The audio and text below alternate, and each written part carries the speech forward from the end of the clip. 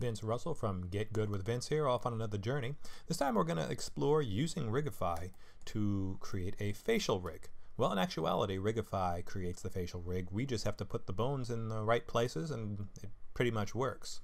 Now, last time we were here, we used the Rigify system to create a custom rig. This time we're going to just create a facial rig.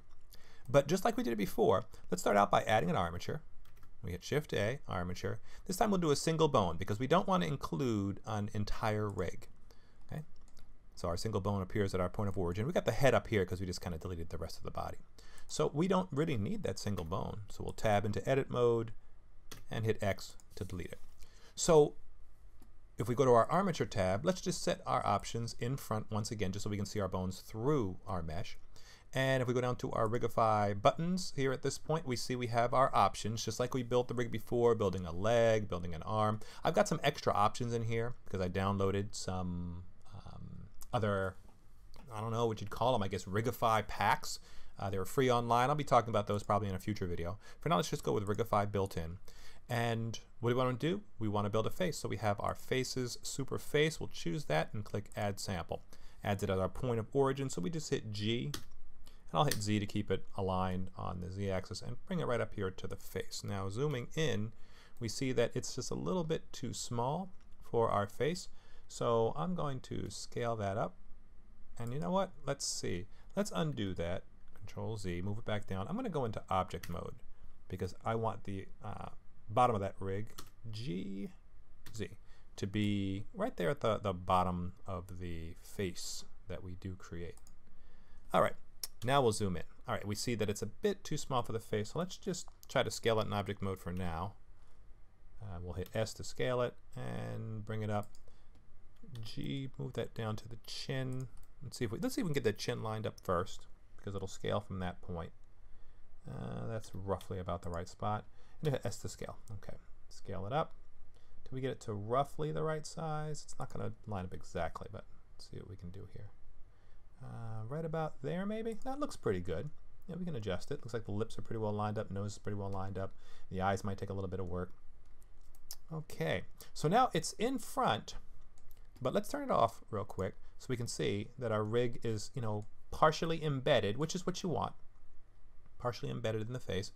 So now let's go about adjusting the positions of the various bones. Now one thing you want to keep in mind here is once again, this rig works off of um, a property or I don't know exactly what you call it, some kind of programming in a bone.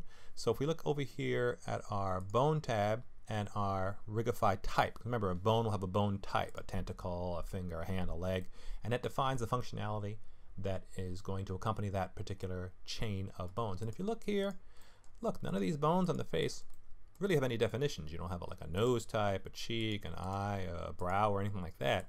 But if you look at this one link, uh, one, one, yeah, good grief, one bone here, you notice its Rigify type is faces superface.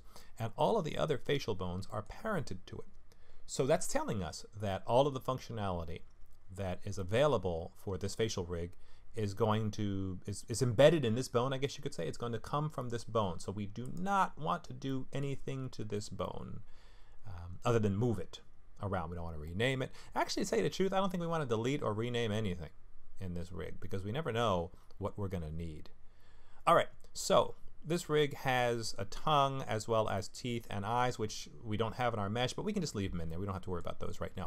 So like I said, let's go about adjusting the bone positions uh, before we generate our rig.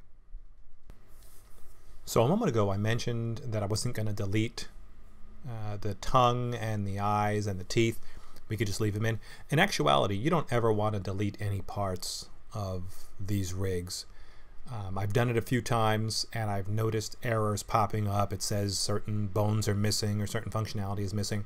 So just don't delete any of the bones. If you don't need them, um, you can always uh, set them later on, I guess, to not deform the mesh or weight paint uh, the mesh to not include those particular bones or delete the vertex groups or something.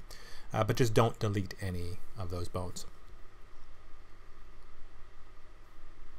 Now you notice as I move some of these bones, uh, I, I like to make sure they're embedded somewhat in the mesh. So you see me turning the in front option for the armature on and off. I find that the deformation works better, and I think everybody knows this. Anybody who knows anything about rigging, um, that if you don't get those bones kind of close to the skin, uh, you're not going to get the best deformations, you're not going to get the best weighting. So try to make sure that the bones are just kind of um, embedded just a little bit in the mesh.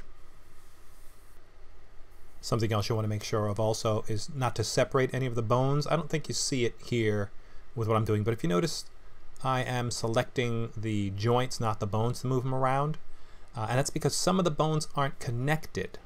They are parented but not connected, so you can separate them. And if you separate them, then that could either uh, affect the functionality of the rig or break the rig altogether. So when you're moving the bones around, either select like uh, all of a group of bones. You can use the uh, link function, the L key, I believe it is, to pick all the linked items and move them all together. Or try to select over top of the joint between two bones and move that to make sure that those bones stay uh, together. They may not be actually connected uh, together, but uh, they're occupying the same space. And Rigify does take that into consideration when generating your rig. All right, so let's tab out of edit mode, back into object mode, and we'll come over here and generate our rig. Oh, wait a minute, let's check something first. Notice our scale is off because we scaled it up. So always make sure that we unify our scale or we apply our scale by hitting Control T.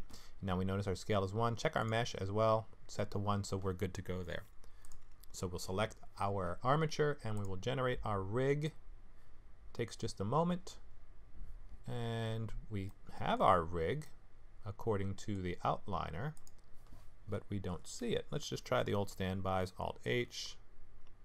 Ah, okay, so it generated the rig at the position here. And I'll give you a second to try to figure out why.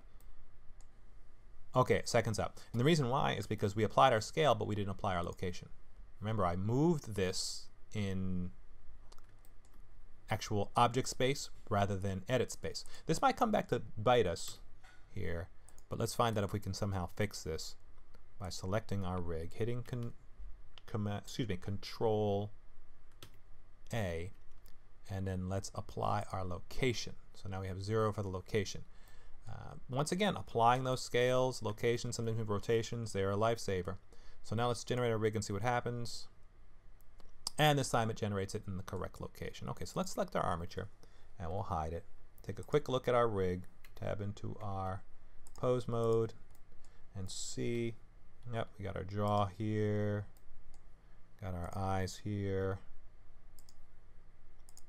eye controller, main eye controller, Everything looks good. Let's tab back out into object mode, select our mesh, select our rig, hit control P, and choose with automatic weights. It takes a split second practically to weight it.